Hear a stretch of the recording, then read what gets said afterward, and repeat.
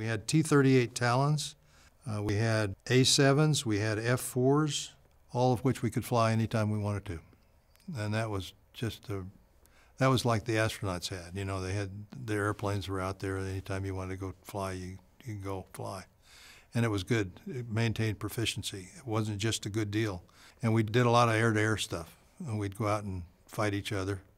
That was very good for confidence and very good for uh, proficiency.